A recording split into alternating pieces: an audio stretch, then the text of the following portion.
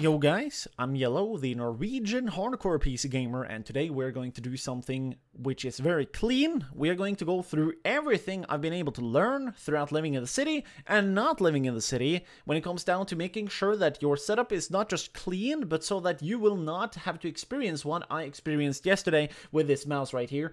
Um, this is a Rat Tournament Edition. Um, it's not that good, but it does the job, and the sensor is surprisingly good, and even more so, I don't find any reason to switch it out, and that is kind of some of the points I want to get to. But anyways, so the general theme of this video is thus um, stuff you want to do in order to make sure that the sensor will not get screwed over, because that's one of the annoying things with this mi mice. Um, the sensor is so sensitive uh, even a little bit of dust inside of the chamber where the sensor is will obliterate your experience when it comes down to aiming. For example, everything is suddenly going to work only horizontally and or it will stutter so you can't use a mouse at all or it will be vertically and then it will stutter again.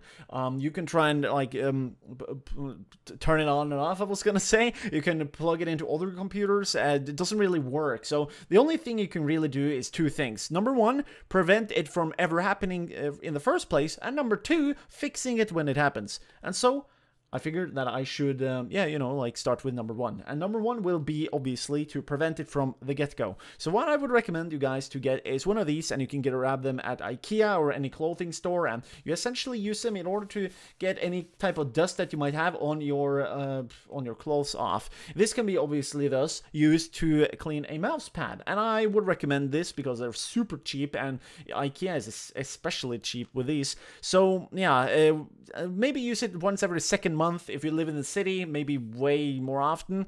I had to use it way more often, so I would just recommend that. Uh, aside from that, though, uh, make sure that you always clean your hands uh, before you do anything on the computer every single time. That way, you make sure that there is less dust uh, spreading. The same with foods and drinks, regardless of the type. Just make sure that it's as far away from your mousepad as possible, which is why I have my drink stuff over there. like, the mousepad is there, the stuff is there. Like, it's always like that, and it's been like that ever since I got into CS. So that's kind of nice, because it actually kind of works, and it, it's a systematic thing that it proves itself to be uh, resultful. Um, so aside from that, uh, I also want to point out to you guys that live in the city that, um, yeah, if you want to get fresh air in, always make sure that it's done in like one big bulk. Uh, it might get a bit cold, but whatever. And then you just let your air maybe get a bit stale. That way you won't always have to like get fucked over by the dust. So, uh, I mean, you, you do whatever you want, but uh, that's at least how much of a prude I became on that stuff. Um, and lastly, and this is for the people that are really trying hard. Um, most human beings shed hair, and that is why I'm wearing this buff uh, primarily. You can see that my fucking curly, annoying, long fucking hair st is sticking out from it, but that's kind of why I'm wearing it. Long hair, strain, strain, strain, strands of hair. Is that how is it? I think it is. Um, being everywhere is not a cool thing, all right? So that kind of sucks, but this fixes it mostly. And I mean, I live in Norway, so it keeps my head cozy and warm. Uh, warm indeed. Um, now let's move over to uh, cleaning the sensor, and it's very simple, really. You basically need a very, very thin type of uh, pointy object, and I would not recommend metal ever. Uh, maybe uh, a little toothpick. It could be plastic or wood. I would recommend plastic.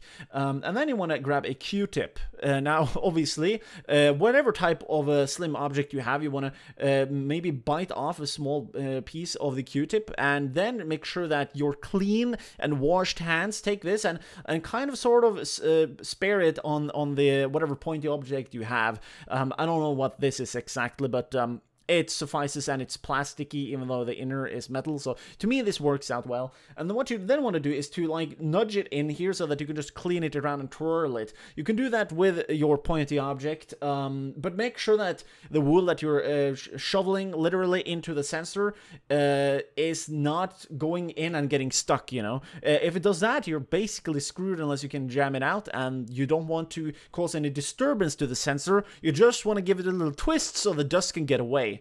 When you've done that, you're basically good to go, and your mouse should be as good as new if the problem is not something different. Um, in which I would recommend to maybe do it like two or three times if you truly have to, and you always got to make sure that you are very uh, sensitive and you don't uh, really uh, scrape or do any kind of hard pushing and bullshit when it comes down to the sensor. After all, it's super sensitive and most modern sensors, even in this old Rat Tournament Edition mouse, they are super accurate. Um, so yeah you got to be very cautious. But when you're done with that you'll probably end up where i am today all right? You know a lot about cleanliness. Um, you decided to maybe make a video about it for all I, uh, I know. Um, and that's aside from the matter of fact that the mouse works and that is what is awesome about just making sure that the stuff is fucking clean all right? So don't eat around your your, your desk. Uh, whether or not you're a chick or a dude don't do anything nefarious either. Don't bring your fucking oily hobby over to the mouse pad either either. Um, and if you're lucky enough, you might even be a cool owner of a QCK mousepad like me. I do believe they can be put in the washer machine if you truly want to fix them up like that. Um, don't quote me on that though, because I don't really care about that sort of stuff. So uh, I'm not gonna do it. I'm just gonna use the the hair roller thingy. I mean, I meant to say the, the cloth roller thingy. But yeah, that's basically all of my small nitpicky tips regarding keeping your stuff clean. So thanks for watching, I guess. And if you want to support me and my work and CS related content, or if you basically want to get better FPS games, I would recommend you to support me, because that's basically what this channel is about. Uh, in which, uh, yeah, links in the description, a lot of them. Uh, yeah, feel free to do whatever the hell you want, alright? So anyways, thanks for watching, have a nice day, and don't get beastified when you play.